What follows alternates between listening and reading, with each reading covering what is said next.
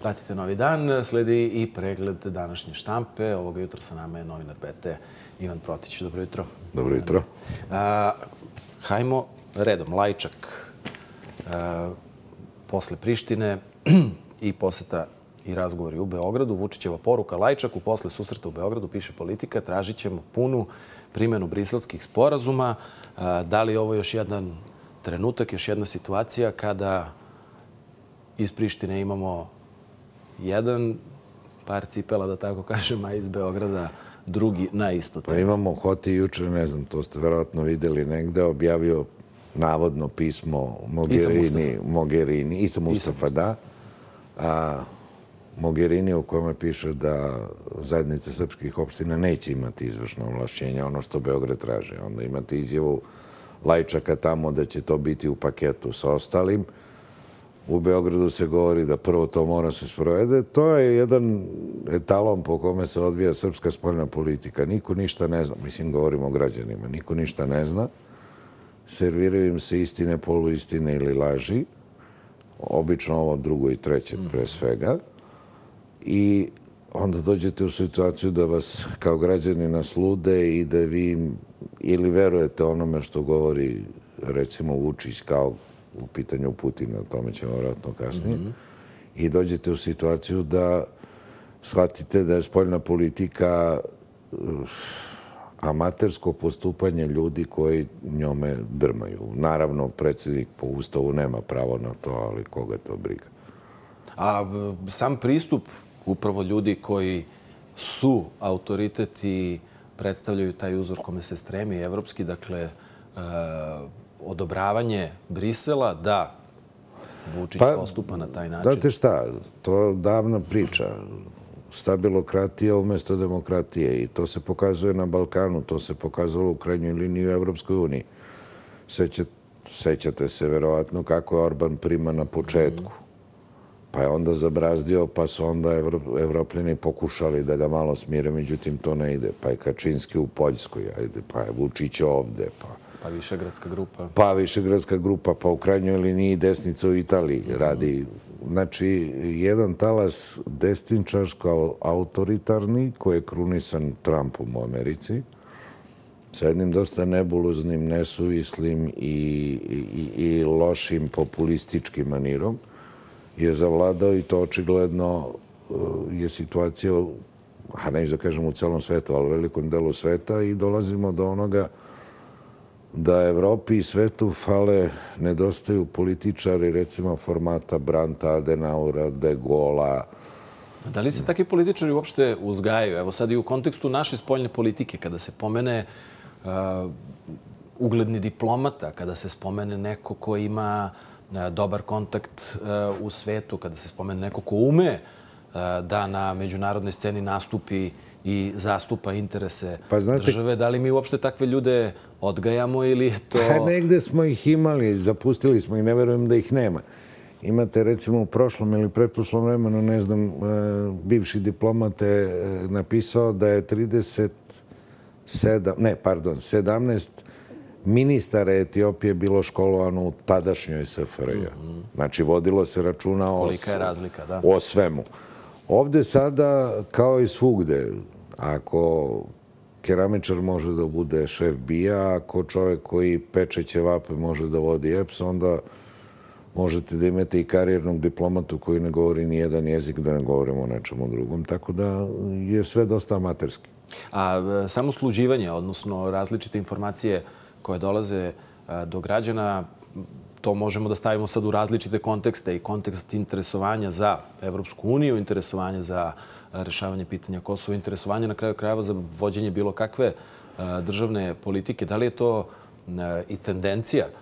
Možemo da čujemo poprilično često da se zapravo sve dešava, što na međunarodnom, što na našem planu, da bi ljudi izgubili zapravo interes i da se bave politikom i da danas sutra daju svoje mišljenje na izborima, referendumima. Naporno je misliti. Naporno je misliti, pogotovo upoređivati različite informacije i pokušati da nađete pravo. Kako je rekao Dragan Mićanović u filmu Lajanje na zvezde, umni rad je fizički neizdržan. Tako da prvo sluđujete građanina, to je jedno. S druge strane, to je odraz amaterizma onih koji vode tu politiku. Vi ne možete očekivati od nekoga ko je amater da se ponaša kao Nobelovac. Mislim, jednostavno nije moguće.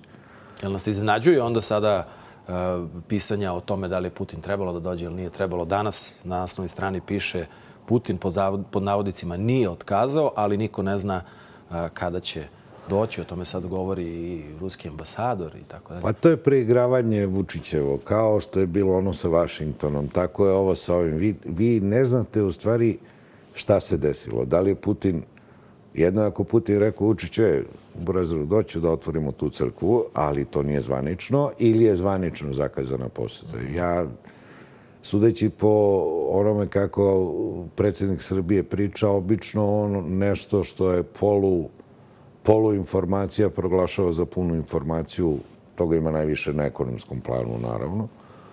Tako da, vrlo verovatno da je to neka igranka bez prestanka. Ovo je navalio da Putin dođe. Putin rekao, dobro, možda, ajde, vidjet ćemo. On je to proglasio za gotovu stvar.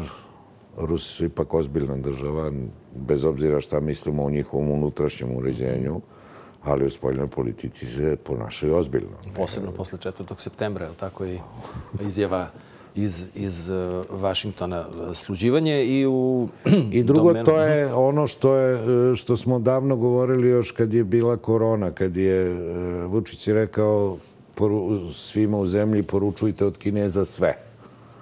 Ja sam tad rekao i stojim iza toga svaka ozbiljna diplomatija u to negde beleži, u jednom trenutku to koristi da udari packe ili da nagradi sve jedno. Mislim da ovo je jedna vrsta packe, bez obzira da li je bilo obećanje lično da će doći ili je bila zvanična posjeta. Ali očigledno da ono što se dešavalo u Vašingtonu njima ne, ne odgovara, pravo da kažem, ne odgovara ni nama kao zemlji. Napravili smo par gafova u, u roku od sat vremena kao kad se utakmica loše započe. Da.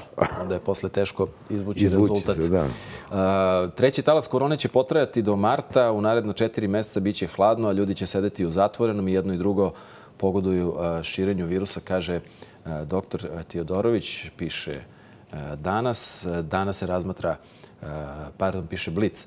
Danas se razmatra pet novih mera, ograničenje kretanja u žarištima, dozvole za okupljanje najviše petoro ljudi, nošenje maski na otvorenom i tako dalje, Podseća na mere koje smo čuli da se uvode širom Evrope i ponovo kreće nekakvo, pa neću kažem plašenje, ali e, spekulisanje time da li će biti e, van ovog e, policijskog sata, da li će biti potpune zabrane kretanja. U osnovi svega toga, mnoge tih mera su naravno opravdane, ne, ne sporim to. Međutim, problem je motivacija i problem je cilj. Cilj jeste plašenje. Cilj jeste plašenje građana ne samo sa koronom, nego i sa nekim drugim stvarima. Uplašeni građani ne razmišlja kao takav, ponaša se kao robot i, i ide po šemi po koje funkcionisao i ranije. Ako uzmemo u obzir da je moguće da 2022. budu neki izbori, onda sve postaje jasno. A koliko nam je jasno šta treba da radimo, ako imamo evo i danas o tome e, piše, e, da članovi i savjetnici kriznog štaba različite stavove imaju o maskama. Iznose e, neka strana istraživanja, stavove stranih stručnjaka, ali ponovo smo, koliko, sedam mjeseci od e, početka svega, na praktično istoj tački da li maske treba nositi, da li one imaju efekta ili nemaju efekta. Pa oni, kako ih rekao, kao svaki čovjek, svako od njih ima pravo na svoje mišljenje. Međutim, ako su jedan tim, ako su krizni štab, onda treba se dogovore. Slušajte, maske se nose ili ne nose i onda je to džentlmenski sporazum. Ja mogu da mislim drugačije, ali ako smo odlučili da kažemo da se maske nose, onda se maske nose. I onda ja to govorim, bez obzira što možda mislim da nije u redu. Zato što u suprotnom vi dolazite u situaciju da zbunjujete ljude koji su poloinformisani, vrlo često neinformisani o, bilo čemu. Onda imate ono što ne treba zaboraviti, to su ovi razni ravnozemljaši, antivakseri i tako dalje koji šire katastrofalne stvari po mrežama. Dosta ljudi se kači na mreže, tako da e, I imate naravno osnovna stvar što mnogo ljudi više ne veruje kriznom štabu, a ima razloga za to jako puno. E, dotaći ćemo se upravo od toga šta sve kruži internetom, koliki je problem što to kruži e, potpuno slobodno u kontekstu teme Eh, raste li ili je već narastao desni ekstremizam eh, u našim krajevima pa i šire. Eh, desni ekstremizam problem tek kada zapuca i na Banske dvore naslov na naslovnoj strani politike.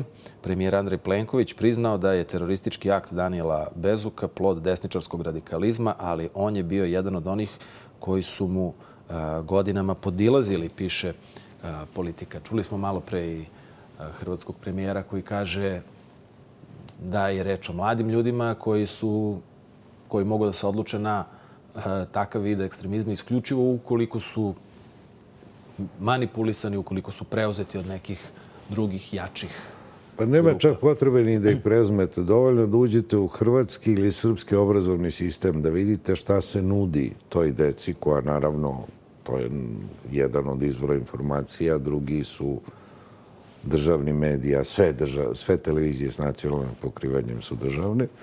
I onda dolazite do situacije koja je paradoksalna pre ne znam koliko godina je bilo da 80% ili 78% ispitanika ne veruje da se Srebrenica desila. U, među mladim Hrvatima vjerojatno postoji jedna vrlo nakaradna slika o Srbima kao što ovde postoji o muslimanima, o Hrvatima u krajnjoj liniji, o Romima. Tako da, o Albancima da ne govorim. Tako da je, e, rodilo se dete, valja ga ljuljati. Taj isti Plenković i isti desničari u Srbiji su zdušno doprinali tom talasu desničara. E, e, koristili su ga i koriste ga. E sad, u jednom trenutku to postane društvena opasnost u smislu pucanja bombi i tako dalje, a onda se sad tako neuverljivo izlazi kao Plenković, eto, mi, mi smo demokrate, mi smo antifašisti, mi smo ovo, mi smo ono. Da pogledamo i u naše dvorište, imali smo pa, upad, je li tako, pa, na izložbu u staroj kapetaniji Ministarstvo je osudilo taj upad, ali... Klinci 15, 16, 17 godina. Mislim, oni, i ja ne veram da gomila njih uopšte zna ko je Marko Somborac i ko je ta grupa koja je izlagala. Ne veram da se unela u te karikature i te uopšte. Jednostavno, verovatno... Ali unelo se ministarstvo, moramo da kažemo. Dakle, osudili su upad, ali su kritikovali i sadržaj izložbe, odnosno same karikature, stripove, da li je to onda relativizacija ove činjenice? Naravno, zato što ako uzmete situaciju recimo u medijima poslednjih godina, konkretno naročito od 2012. Vi imate kroz takvo ponašanje, te poluosude ili formalne osude, uz podsjećanje da je druga strana koja je mnogo slabija isto tako pravi džumbus, vi faktički postičete nasilje i e, prema neistomišljenicima i činite ga legitimnim. Ako sudovi ne osude ili se ili e, apelacioni sud stalno vraća neke presude na, na osnovni sud, pa onda dobijate da neko ko je napravio neki dosta jak kriminalni akt bude osuđen na 10 meseci kućnog zatvora, što je smejurija onda time šaljete poruku da svako nasilje protiv onoga ko kritikuje ili bar postavlja pitanja režimu je legitimna meta. I stvarno e, se postavlja pitanje kad će da se pređe ta tanka granica. A postavljamo li pitanje kome odgovara da to tako bude? Pa kako kome? Pa odgovara onom koji vlada. Mislim, to je, to je sa svim logično. Ništa se ne dešava slučajno. Da je da država hoće, bez obzira na svoje vremeno Vučićevu izjavu da on ne može da izađe na kraj sa ovaj, navijačima, odnosno huliganima. To je izjava zbog koje bi neko u nekoj normalnoj zemlji odmah podnao ostavku i rekao, izvinite, ja ne mogu da obavljam taj posao. Ako ne možeš da izađeš sa huliganima, pa kako ćeš da izađeš sa organizovanim kriminalom koji je ozbiljniji ili sa terorizmom koji dolazi iz polja i tako dalje. Kako ćemo da izađemo na kraj sa dijalogom? Nije ga bilo pred eh, izbore, ili ga bar nije bilo u onom nekom punom kapacitetu i očekivanom kapacitetu. Eh, danas piše o tome i prenosi eh, miso Ratka Božović, sociologa, o jel tako, predlogu za formiranje Ministarstva za ljudska prava i društveni dijalog. Nema dijaloga tamo gde dominira mržnja. Kako mržnju Kako, kako mržnju Formirate ministarstvo za nešto čega u ovoj zemlji nema. ljudska prava su toliko napadnuta, da tako kažem, da da je pitanje šta je od njih ostalo. Ona, ona su u front sloma. Vi imate ljudska prava samo u situaciji kad ste uz ili u vladajuće eliti. Kad niste, onda ih imate onoliko koliko nekome ne smeta da ih imate. O dijalogu, ne, ba, sećate se kako izgleda dijalog o Kosovu. Nije se znalo ni koga vodi, ni šta su teme, ni ko razgovara, ni šta je zaključeno. A ako tako izgleda e, dijalog o e, jednom od ključnih državnih pitanja, kako onda može da izgleda dijalog o nečemu što zvanično nije ključno državno pitanje? Pa dijaloga nema jer imate autoritarca koji smatra da sve najbolje zna. Od toga da vjerojatno zna da vozi Space Shuttle pa nadalje. Tako da vi e, e tu faktički dijaloga nema. Ono što, e, što bi možda nateralo na dijalog, jako veliki pritisak, nažalost, polja iznutra, vidimo da to ne funkcioniše. Znači, veliki pritisak s polja uz pritisak iznutra i onda bi se mic po mic eventualno došlo do nekih malih pomaka koji bi, jer prva breša u brani otvara širi rupe. Ali bez obzira na te pritiske, pritiske e, s polja ili uputstva ili izveštaje, kritike i tako dalje, imamo e, po pitanju E, brojnih oblasti našeg života, pa ne vidimo da se nešto menja. Šta je svrha najavljivanja ministarstva za dijalog i čemu ono može da služi? Za mazivanje očiju formalno imamo ministarstvo, e, formalno imamo faktički ombudsmana, formalno imamo zaštitni ovaj, poverenika za informaciju od javnog značaja. Znači, formalno imamo sve. Imamo agenciju za borbu protiv korupcije, vidimo kako ona prolazi, odnosno neki njeni članovi. Znači, to je taj jedan, eh, kako bih rekao, panelni demokratizam koji ima samo, samo formu ispražnjenu od sadržine. A to je, e, to je očigledno manir u kome se, barem evropski desničari ponašaju tako u poslednje vreme. Opet pominjem Orbana, Kačinskog i tako dalje. Neki put pređu liniju. Vi imate recimo istup glavne javne tužiteljke pre koliko beše, ne znam, desetak dana, ono je katastrofa. Mislim, žena, tolike stvari se u zemlji dešavaju po zakonu, javni tužioci imaju pravo da samostalno postupaju i da pokrenu postupak, niko ništa ne pokreće i sve se svodi na ono što je svojevremeno Vučić izjavljivo kad su mu postavljene neka pitanja, da pa šta. To je suština priča. Dokle možemo tako i da li ćemo i u ovoj situaciji, dakle ako je najavljeno, pretpostavljamo da će i biti je tako, na spisku ministarstava upravo i ovo, da li to znači da će ono postojati samo na papiru, da će opet neki drugi činioci u društvu, organizacije civilnog društva preuzimati Pa hoće... Kakav je njihov domet uopšte?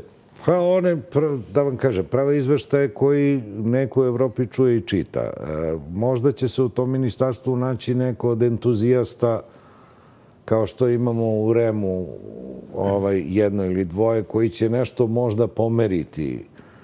Ali to sve ide jako mučno, jako sporo puževskim korakom i od toga nema mnogo koristi. Naravno, bolje je što je tako nego da nije tako ali ukupan skor će biti vrlo mršav, faktički nikakav. Sa nešto malo, kažem, pomaka, ali će se ipak sve završiti na tom ovaj, paravan demokratizmu, tako da kažem. Hoće li to biti, uh, hoće li i nova vlada biti ilustracija uh, toga? Čujemo da ćemo Kako, kako mislite nova vlada sa starom premijerkom? Koja je pokazala da je jako dobar učenik jer njene neke izjave, to je imitiranje, kao i kod mnogih SNS-ovaca, imitiranje šefa. Vi imate situaciju u kojoj se govori o digitalizaciji, a nemate pristojnih WC u školama u Srbiji. Ja nemam ništa protiv digitalizacije, ali ajmo redom jedno po jedno. Ajmo prvo da deci omogućimo da imaju gde da operu ruke, da je da odu u WC, da imaju pristojnu učionicu, da imaju da ne, dve tetkice u celoj školi ne budu zadužene i za čišćenje i za dezinfekciju između časova koje je nemoguće izvesti u tako kratkom vremenu i sa tolikim brojem ljudi.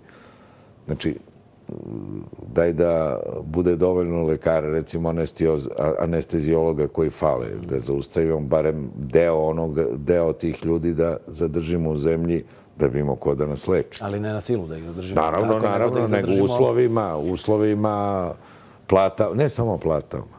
Ne beže ljudi samo zbog novca, beže zbog opšte atmosfere koja koja je mhm. katastrofalna. Nalazite se u bari, u, u sen grupu se nalazite. E, šta može da promeni tu atmosferu? Vladu još nemamo, pominju se, i to predsjednik pominje e, države i, jel tako, najveće stranke. Varalne parlamentarne izbore. Sad se već gotovo izvesno priča o tome da će predsjednički 2022. biti spojeni sa vanrednim parlamentarnim. E, kaže, kažem, vlade još nema. Opozicija je u takvom stanju u kakvom jeste. Blic piše o tri bloka e, opozicije, dok još uvek ne znamo ni ove, koliko Dobro, u svakom pokreta. Barem, barem dva bloka je logično da postoji, jer e, šema DOS-a koja je pokušana se primeni u pred ove izbore nije funkcionisala. U ostalom, ona ni onda nije funkcionisala. Ona je funkcionisala dok Milošević nije pa. Znamo šta se dešavalo posle sa DSS-om s jedne strane, a drugima, drugima sa druge strane. E, mislim da je tu ključno pitanje beogradskih izbora. Zato što je to jedino mesto gde opozicija možda može da postigne dobar rezultat. Velika je teritorija, e, da tako kažem, kritičari režima su tu skoncentrisani. E sad, samo bi opozicija morala da odradi mnoge organizacijone stvari onako kako su svoje vremeno komunisti radili. Obučaš cipele, ideš od kuće do kuće, mhm. ubeđuješ ljude. Da, između ostalog je da predstavi neki program. O programu da ne govorimo. Ajde, u predsjedničkim izborima ne treba programe, to nije vlada. Ne bi trebalo. Ali u beogradskim i u parlamentarnim ti možeš da izađeš sa programom koji će biti vrlo kratak i e, sve što se u njemu kaže mora da bude ograničeno vremenski. To ćemo postići do tada, ovo do tada. Čujete to ovih dana?